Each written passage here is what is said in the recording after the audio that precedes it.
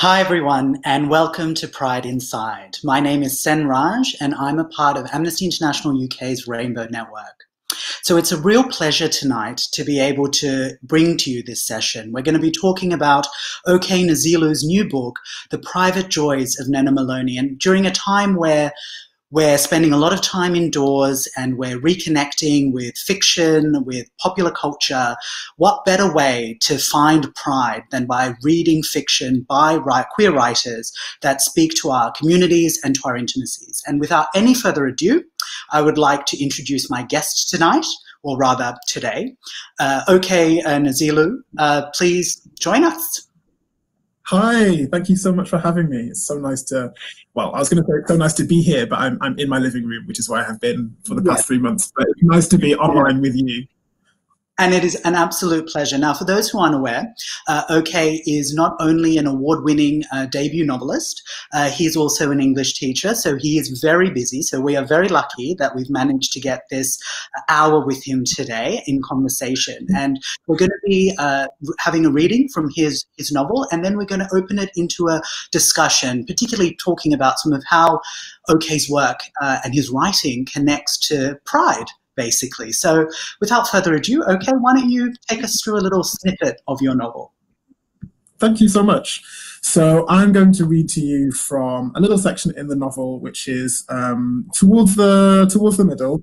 Um, the novel revolves around Nnenna, who is a 16-year-old girl living in Manchester with her mum, who is white. But Nnenna is half Nigerian, but the problem is she's never met her dad, and Nnenna's mother refuses to discuss her father. So Nnenna really has no direct connection to her Nigerian heritage or to any part of that sort of side of her family. And the novel follows their journeys towards understanding themselves and each other while also following their friends and lovers, and there's a whole sort of cast of characters surrounding them. Um, Nnenna's father, called Morris, is someone who met her mother at university, and we sort of meet him in flashbacks. So I'm going to read to you a little section towards um, the middle about um, just a moment between Nnenna and her mother, where we find the two of them experiencing love in quite a quiet way. As Joni waited in the freezing cold car for Nnenna to come out of the takeaway where she worked, she replayed in her mind bits of her early relationship with Morris. Was she foolish? It had never been a joke to her, however wild it seemed now, for her to have had a child at 21.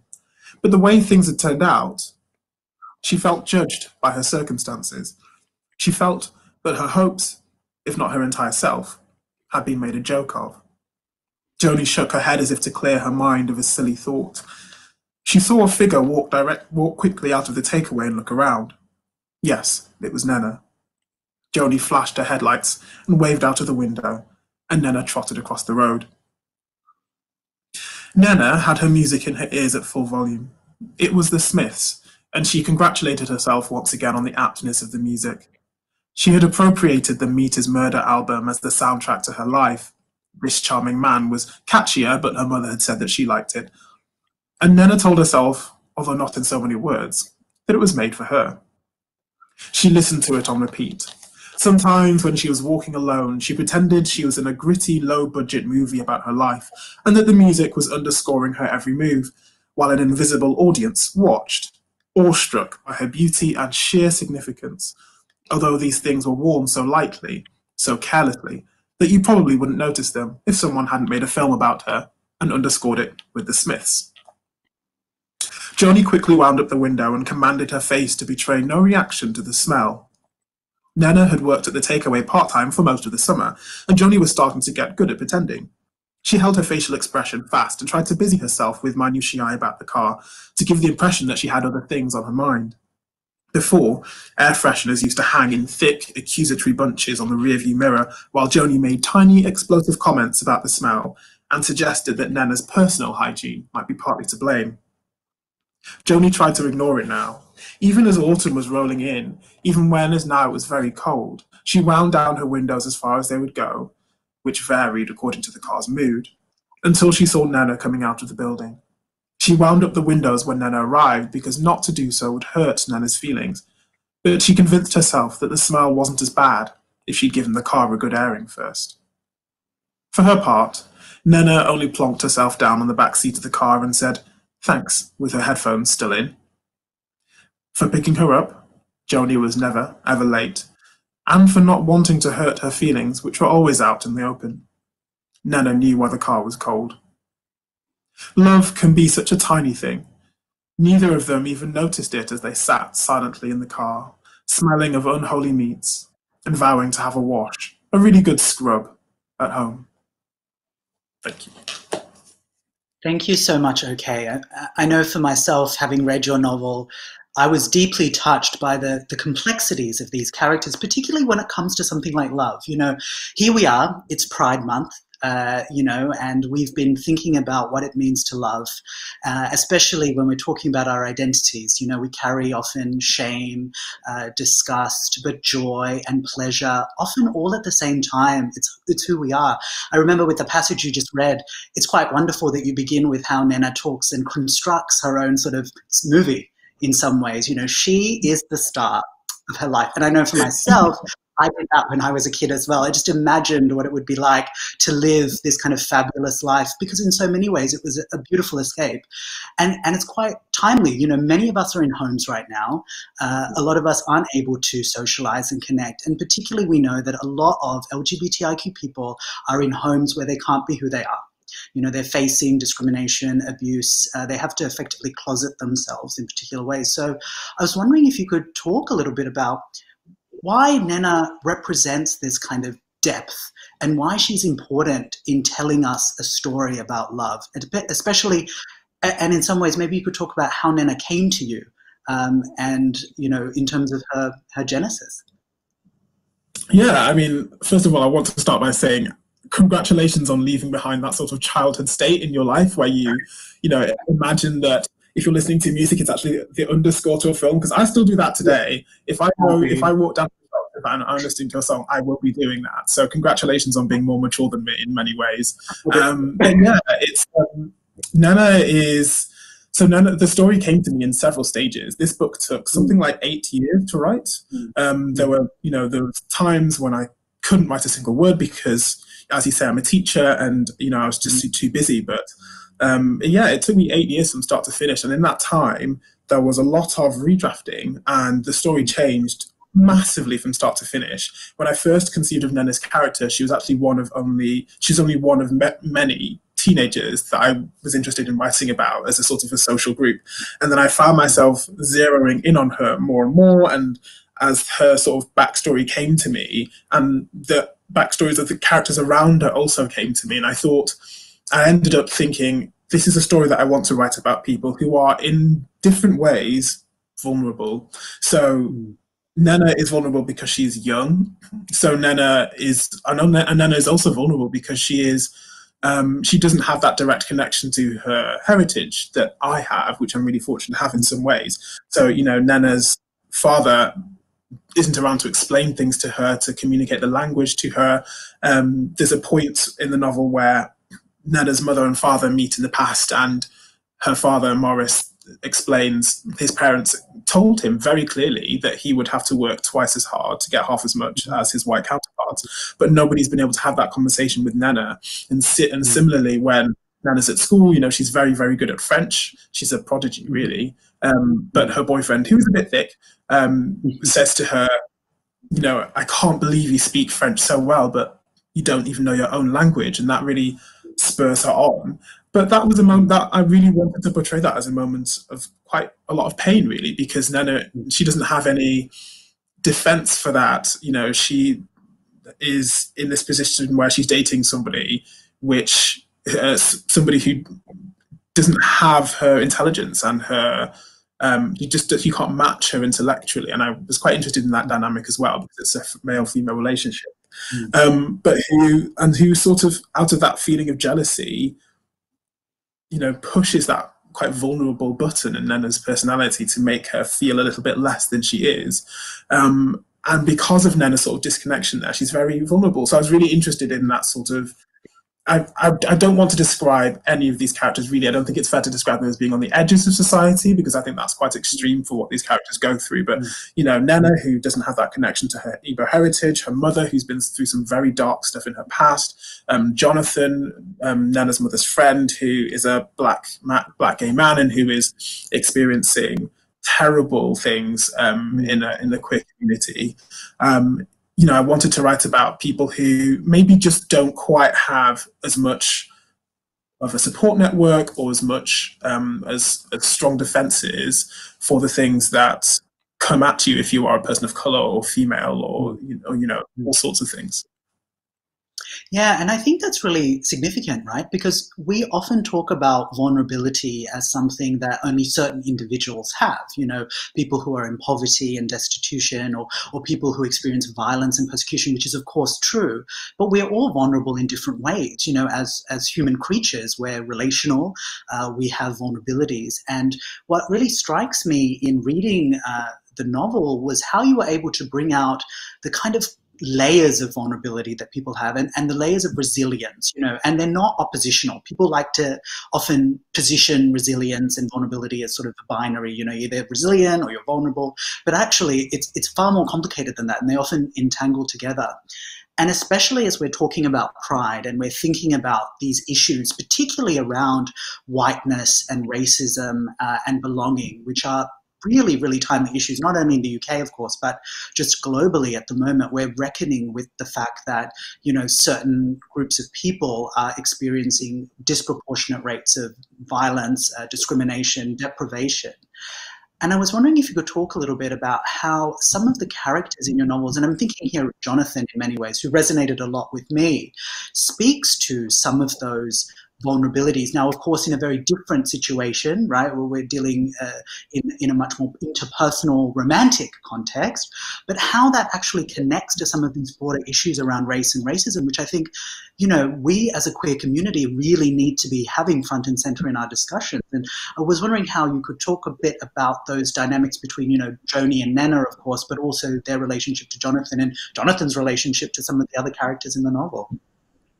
Yeah, that's such a good point you make about the sort of supposed um, binary of victimhood and resilience, because I think that that binary doesn't exist really. You know, um, I, I know people of color or queer people who, for whatever reason, don't even want to admit to the depth and the extent of institutional racism or homophobia or misogyny because they're afraid of they don't want to identify as a victim.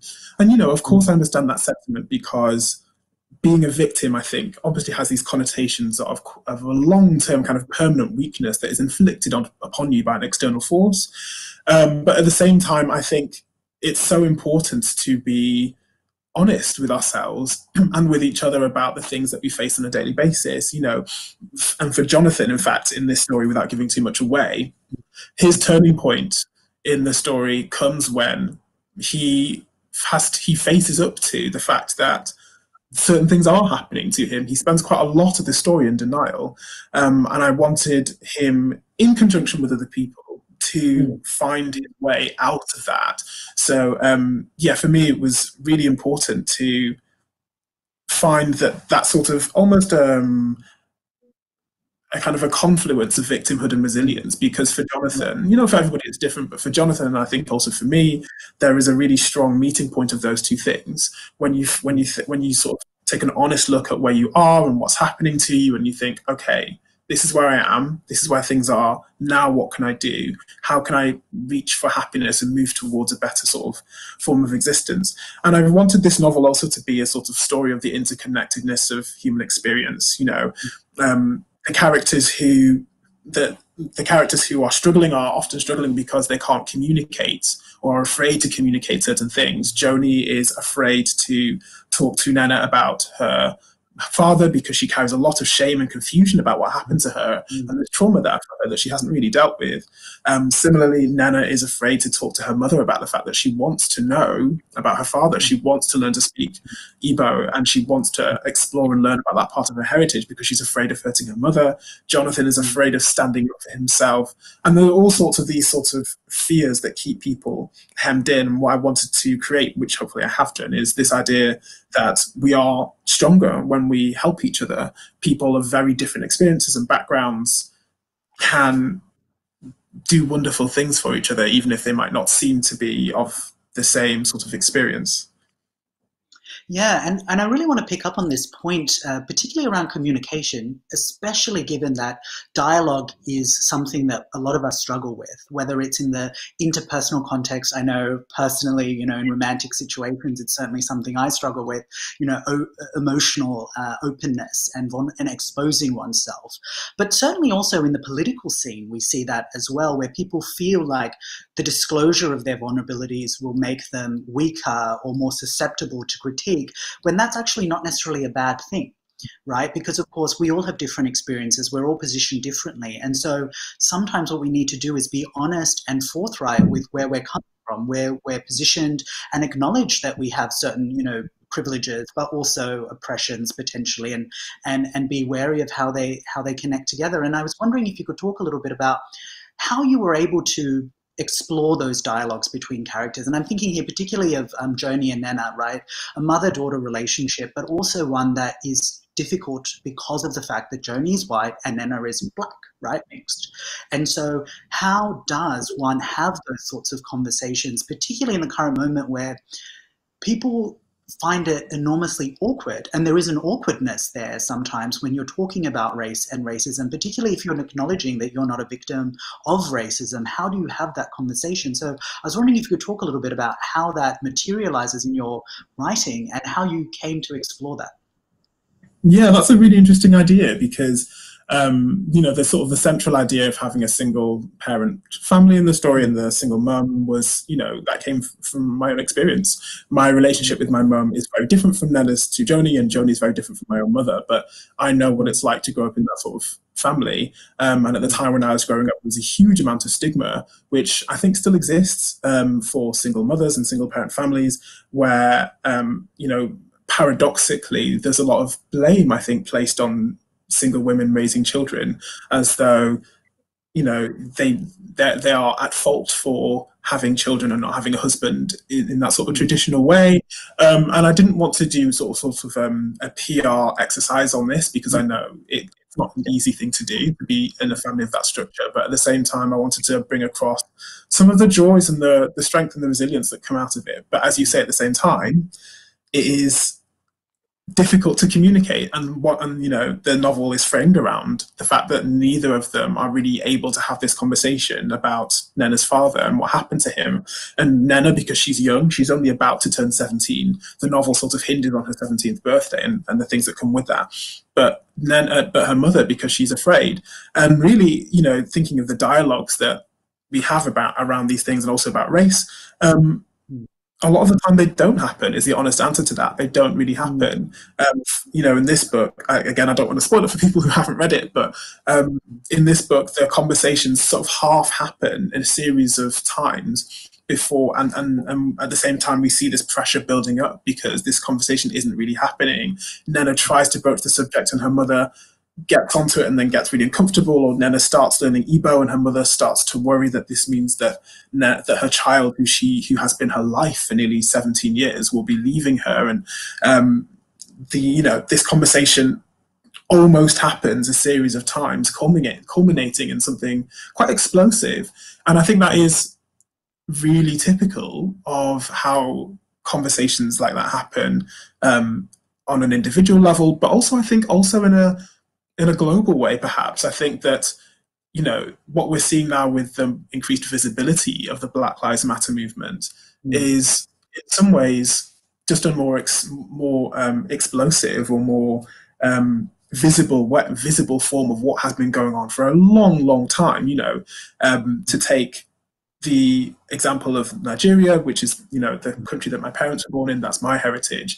You know, the obviously independence happened in 1960, but that was only the culmination of decades and decades, a long, long time of, of, of resistance in many different forms.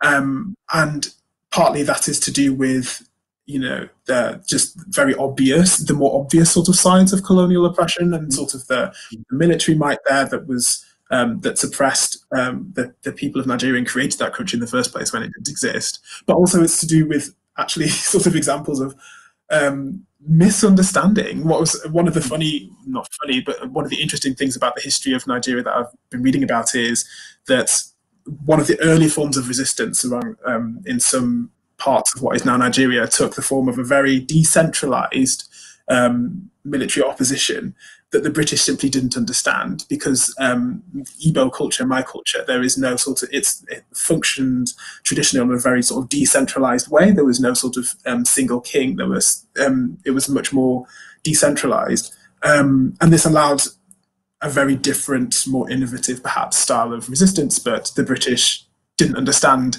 that. They thought it was simply disorganization, um, and there are lots of different sort of examples of this and the way that that worked. But I think that it's just, uh, maybe it's just how people work. Maybe these conversations need to be built up to for whatever reason in different ways um, until something more, much more permanent or concrete and positive happens that, that endures.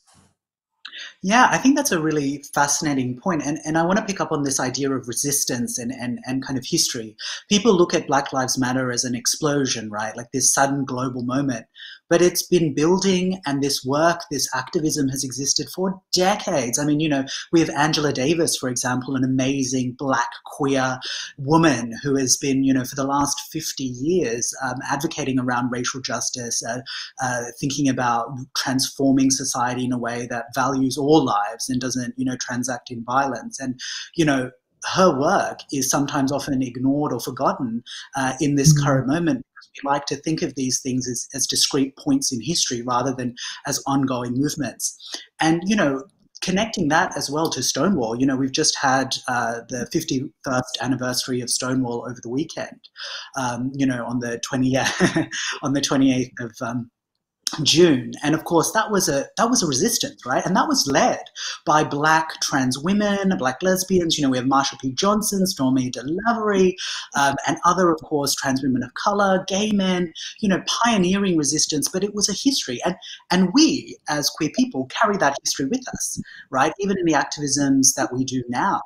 And I was wondering if you could reflect a little bit on your own experience with that, both as a person, of course, but also as a writer, because you're speaking to a, a, tradition that has come before you. You know, you have writers that inspire you, and you have a particular canon that you're engaging with, and certain political commitments you are seeking to engage or, or at least touch upon. So I was wondering if you could talk a little bit about that history of resistance that you carry with you, right? Like both at a personal level and as a writer.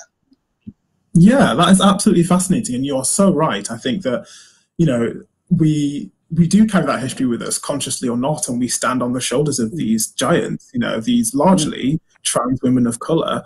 So mm. it is incredibly painful, you know, even for me as a cisgendered man, to see the way that that history is erased or taken for granted or, you know, really spat upon by some members of the community who don't value trans people, who don't protect them, who don't want to understand them. And I think that's so important, you know. Um, the way that we as a community function is weakened by the way that history gets erased. Um, it's frustrating. I certainly, you know, to talk about my experience as a writer, I'm constantly learning about the erasure of, you know, black writers, black British writers in the past. You know, it's very frustrating to know that something which seems permanent, which you can hold in your hand, can be forgotten very easily. Hopefully, right now we are in a moment of increased awareness and increased, you know, um, learning about the, our histories and about our past. Um, as you'll know, why I'm no longer talking to white people about race is a I'm not sure if it still is a bestseller, but it certainly was very, very recently, hmm. um, which makes history. Um, but at the same time, underneath that history, as Reni Eddo-Lodge herself would say, she is standing on the shoulders of giants who've come before her. Um, so hopefully, at the moment, we're moving into something more positive, but maybe it's too soon to tell. Yeah, and, and I also want to think a little bit more about how we talk about these issues more broadly, right? Because, of course, the erasure of history is something that has been very topical of late, um, often in conservative circles as well. You know, we're seeing um, monuments of uh, dead uh, slave owning colonialists uh, being torn down. And, of course, we're also hearing this narrative that that is the erasure of history. Now, of course, that, that conveniently forgets that, you know, during post colonization, uh, the British government destroyed many records of its atrocities in various um, countries that it colonized. Uh, and yet here we see that memorials uh, that are being taken down being referred to as, if you like, the erasure of history. And yet, of course, most people are only learning about these individuals precisely because of the fact that people are wanting to take down their memorials. So I was wondering if you could talk a little bit about how that erasure how we respond to some of these sorts of conversations of erasure and history, because of course we have different histories. You know, there are multiple histories. There's no single event, as we know. It's a, it's a, it's about meaning making. So I was wondering if you talk about how that matters to you, but also how we kind of engage with this current political moment to ensure that we're bringing to the fore those voices, as you rightly mentioned, those black voices in particular, that have been erased historically. Because, of course, people like to throw around the, this idea that, you know, well, we shouldn't judge people by the standards of the past, or, you know, yes, they did that, or they did think that, but that was widely acceptable. Because that oh. conveniently erases the fact that so many people were resisting that very idea at that time. So I was wondering if you could talk a little bit about that and how that kind of impacts on you, but also in the context of what you write. Oh my goodness, where to begin? That's such a huge topic. I mean, you're 100% yeah. right. So that one of the things that I find most frustrating about this discussion of the so-called erasure of history by throwing a statue of a dead slave owner into a river is this failure to distinguish between history and glorification. You know, as hmm. you mentioned yourself, many people did not know who Edward Colston was until his hmm. statue was taken down. So this idea that his statue served to educate people effectively about the about Britain's slave, uh, you know, the, the slavery in Britain's past is completely false. And in fact, um, as, as well as you know the deliberate erasure of the British government that you mentioned, of course, we have a much more long-term um, sort of current issue of the way that in schools this history simply isn't taught. And what is interesting, of course, is that the the same voices who um, you know decry the destruction of these statues are completely silent on our essentially inadequate history syllabus. We are sending generations after generations into the world without a real knowledge of some of the most important elements of Britain's past. You know, I, like many people, learned about, you know, Hitler and the Henrys, um, and, you know, I had to do all of my other education for myself. But what if I hadn't had to do that? What if I was somebody like Nnenna who didn't have people who could point me in the direction of things? What if I didn't have a focal point for me to begin with my Nigerian heritage? What if I didn't have that? And I think that we need to think about how we are serving ourselves. It bizarrely, these arguments that are, you know, trotted out in favor of um, protecting statues of slave owners about those who do not know history or doomed to repeat it, etc., etc would be very well used in terms of uh, in a different way in terms of sort of getting teaching um, ourselves and our children about the real nature of Britain's past. Um, so that is something that's deeply frustrating to me um, because there is so it's so different. To, there's such a big difference between education and exposure. There's such a big difference between education and glorification. And as you and you know, you're 100% right when you talk about the fact that you know, we there's this um, sort of argument flying around now, as I'm sure it has been for a long time, that we shouldn't judge people in the past by today's standards, which, on the one hand, seems you know on the on the very surface might seem like um, a more like, like, a perfectly valid argument, but in fact is not at all. You know, as you say, the British government encountered resistance in all sorts of forms in its colonial efforts, um, and at the same time, the British government also knew that it was you know these these people there were the people in power certainly again I can re- refer to Nigeria's heritage with most sort of certainty and sort of knowledge but the the forces at play knew exactly what they were doing, and they knew that you know you know partly because you know, one of the things I find most frustrating is that um, certainly in Nigeria again um, the colonial effort was touting itself as a moral one in lots of ways. You know, what Rudyard Kipling refers to as the white man's burden to travel around the world with the Bible and some soap and sort of educate and lift dark peoples out of poverty. Yeah, how to say that, you know, yeah, exactly that white savior on this global military scale um, yeah. is thought of as people um, you know people are very quick to dismiss that as oh that's what happened yesteryear. But actually as several quite high profile things have revealed. Um, recently i can't remember the name of the journalist now.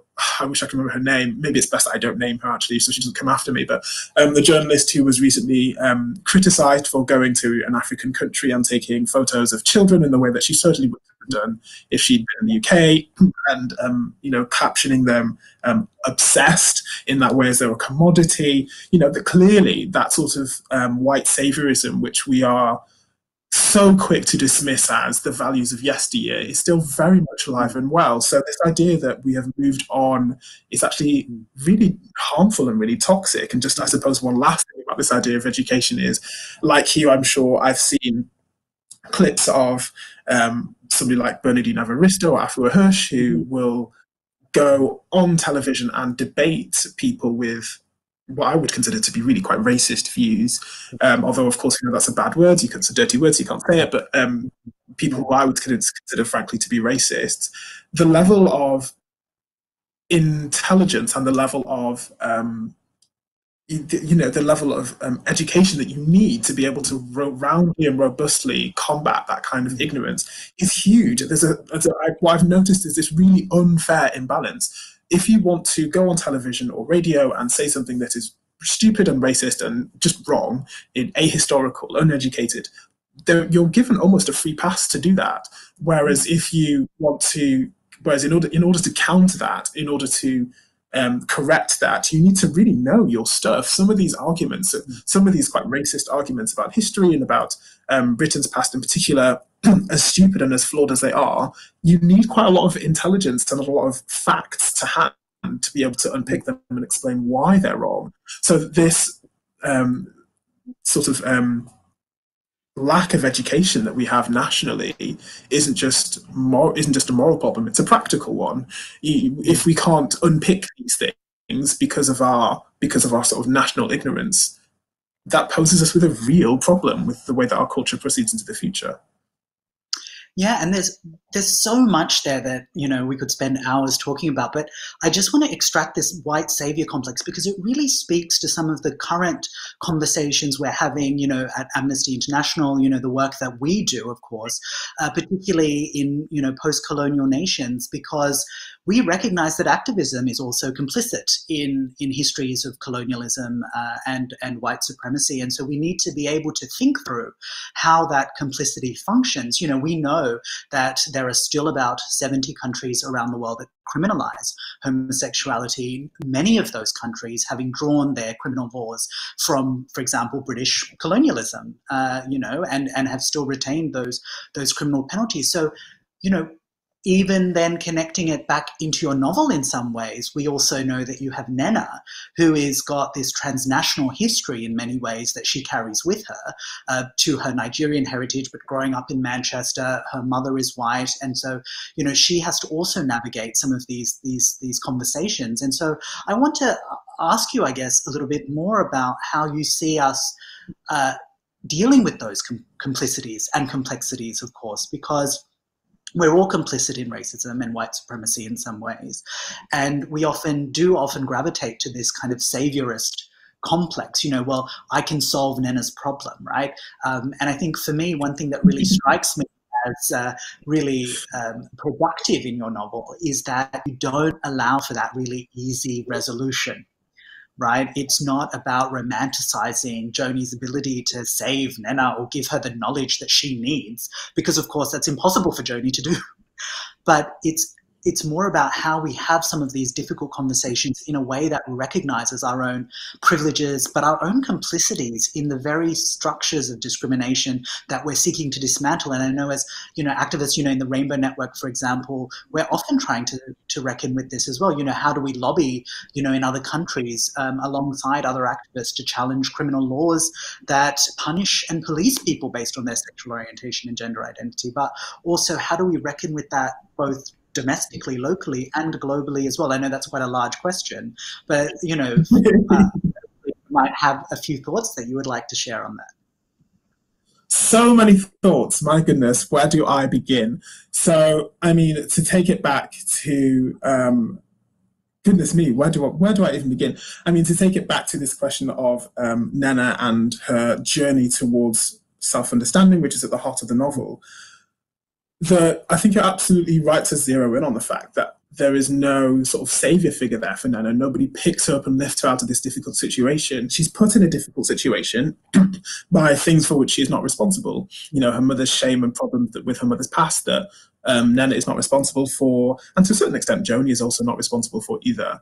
Um, but I really wanted to get across the fact that this is not a story about somebody giving Nnenna something. This is not the story. This is not a story of a young, you know, black, um, half Nigerian mixed race teenager of, of sort of getting something from somebody more powerful than her.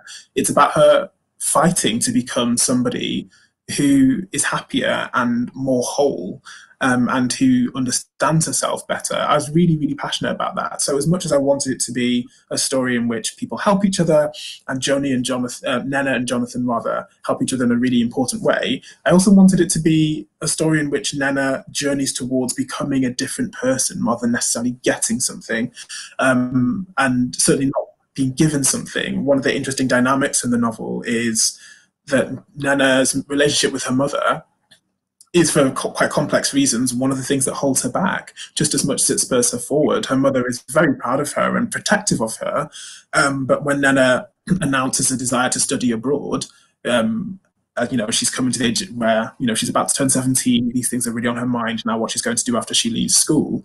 Um, when Nnenna announces this desire to study abroad, that really um, launches some really serious tensions between her and her mother in a way that haven't really existed before. They've always had this very close, tender relationship full of warmth and humor. But when Nnenna, Nnenna desires more independence, that really starts to um, make their relationship quite tense.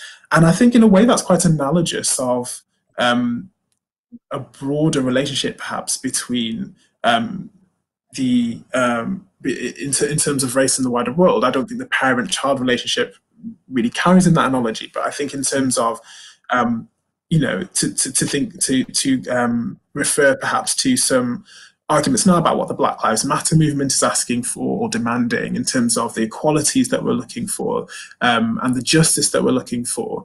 Um, you know, it's seen as a threat so often. Perfectly rational, just things are seen as a threat and, and to refer to more um, individual um, examples of this sort of thing. Um, black people um, are seen as threats in very ordinary context, working context, interpersonal context, romantic or sexual context were seen as a threat um, purely because we are black. And that's something that Nnenna experiences in terms of people sort of um, animalizing her when they when they imagine her having sex, the way that her friends talk about her briefly in the novel. Um, and it's something I think a lot of black people have experienced as well. We are seen as um, threatening. Um, and um, one of the things that I know that I've talked about with my black male friends is the idea that you have to sort of manage your manage your black masculinity in order to make people feel safe. But we've sort of gone off the topic there, sort of white supremacy and sort of the white saviorism. Um, so no, have I sort of veered?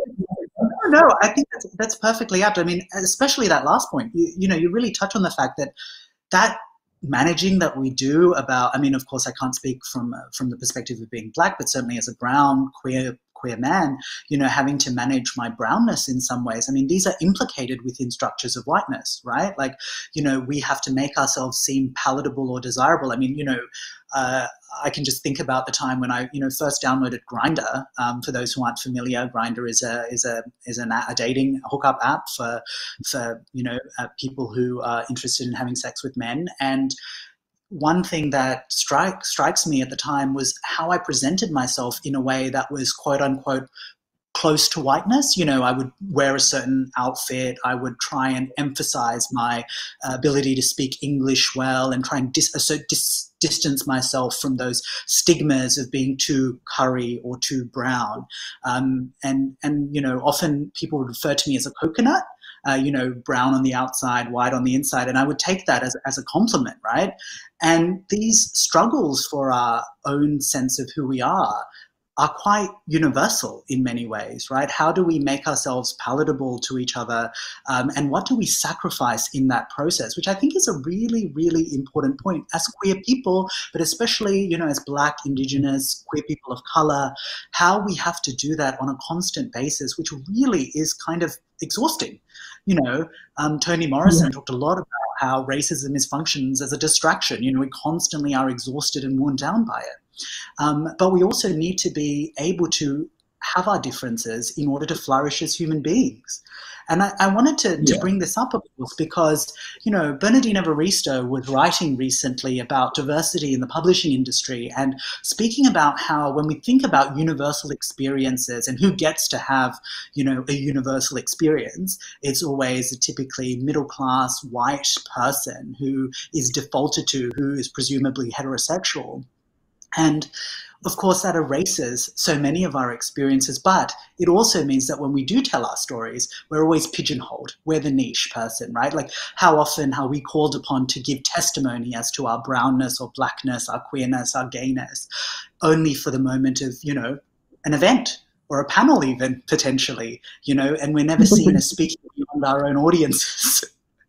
But of course, that's not what what we should be striving for. I mean, you know, when we think about pride, and we when we think about people, you know, who have come before us, you know, I think of Audre Lorde, who wrote a lot about the importance of valuing differences as that which energizes us and makes us human, but also about connecting between differences as well. And I was wondering if you could talk a little bit about how you tried to do that in your novel, and also how you speak back to some of these assumptions that are being made in a typically white straight male dominated publishing industry? My goodness, yeah. I mean, again, fantastic question. Queen Bee, um, Bernardine Evaristo, 100% right in terms of the way that publishing works. Um, I've only I've been, I've only had this book out for sort of about eight months now, but I um, I also worked in publishing, um, and you know the things that I've observed over the years um, of being um, uh, just a person who reads worry me. I think that the the publishing industry does have a lot to answer for in terms of the way certain stories are privileged over others, in terms of the way that black writers and queer writers and other marginalized voices are published or, or not.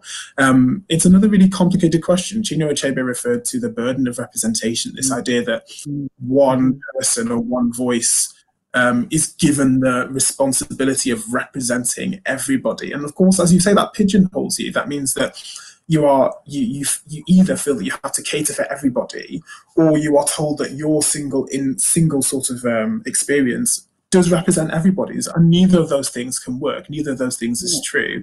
So really, for me to write this book about one teenager who is half Nigerian, one white single mother, one gay black man, who's had you know ex- negative experiences with religion, I really had to break away from any idea that I was speaking for anybody other than myself, mm. that I was writing any other stories than these, because that's all you can ever really do.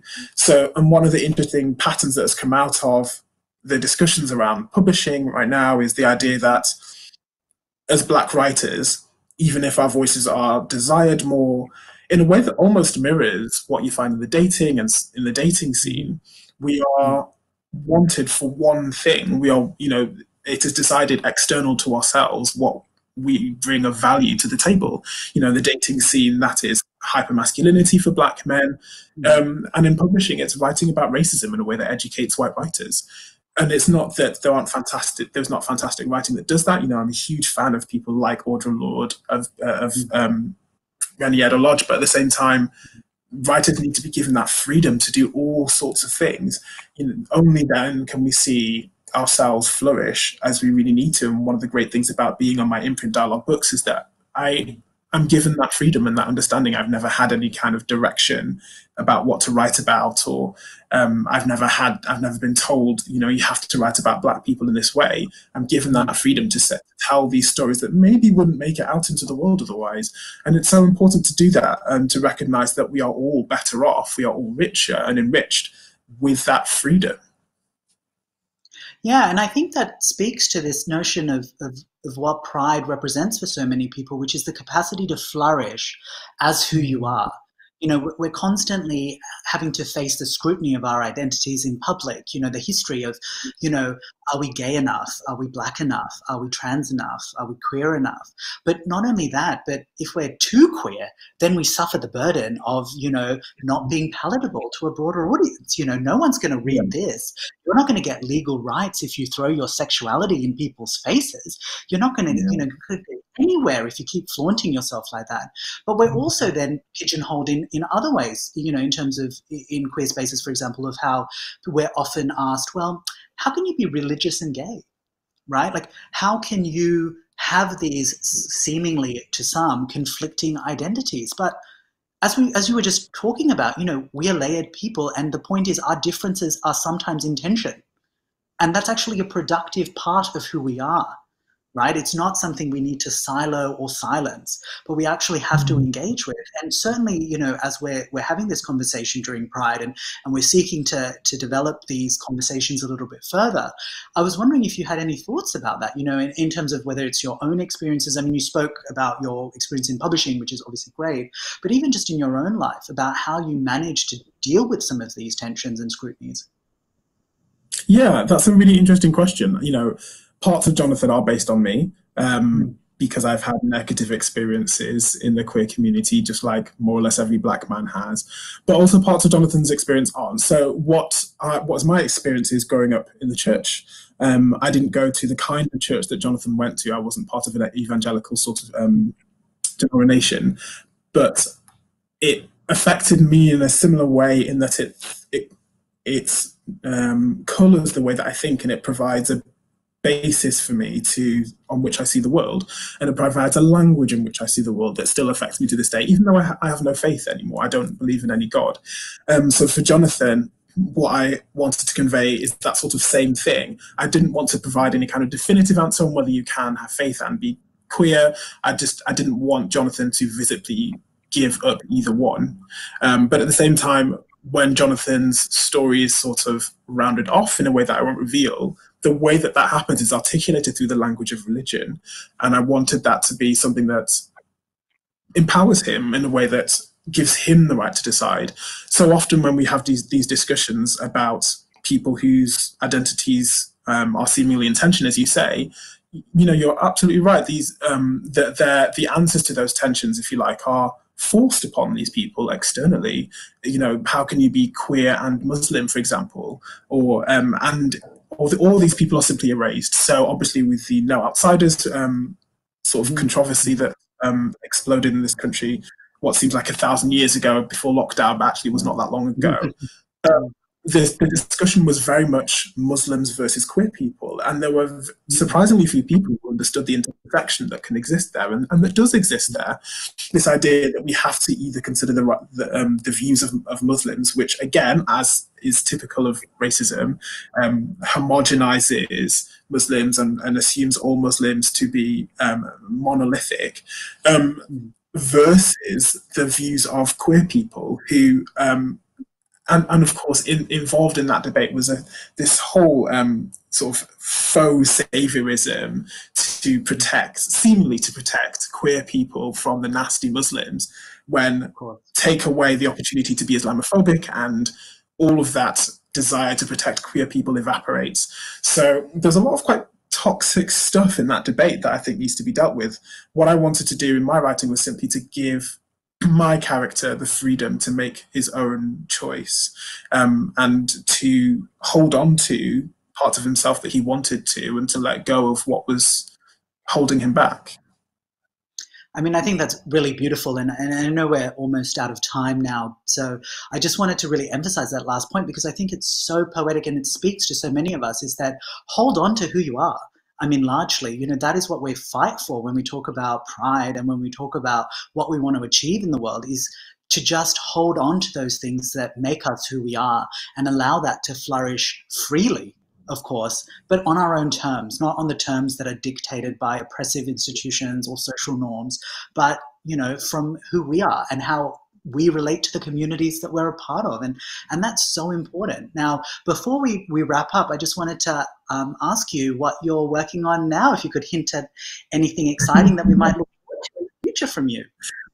Yeah, thank you. There's some really exciting stuff happening. So um, my contract is for two books. So I'm writing my mm-hmm. second one now, which will be out in April 20, uh, in spring 2022, which um, is really exciting. I'm writing a story which is not a sequel to The Private Joys of Nnenna Maloney, but which is um, continuing the themes of um, how much we all need each other, of people who might not seem like they are obviously connected, um, being connected in ways that are complex and often really, really positive and necessary.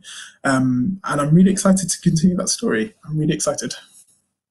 And I can I can tell you that I am very excited to be able to read that story uh, very soon. I mean, you know, it was an absolute pleasure to read The Private Joys of Nnenna Maloney, and I would encourage you all. Uh, we'll post a link.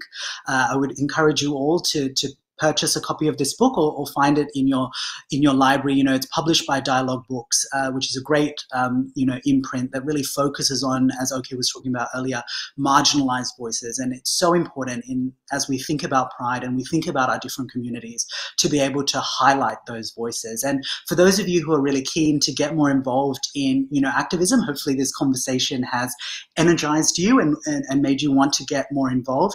Please sign up to the Amnesty UK Rainbow Network work. There's a link uh, as well. Um, we're often doing all kinds of work, working on issues for people seeking asylum. We're, we're dealing with issues of racism. We're, we're also working on trans rights, intersex rights, dealing with um, religious minorities as well. So, you know, we have a broad range of, of campaigns we're working on. So I would encourage you all to sign up, get involved, and happy Pride, everyone. Thank you, and thank you, OK. Thank you.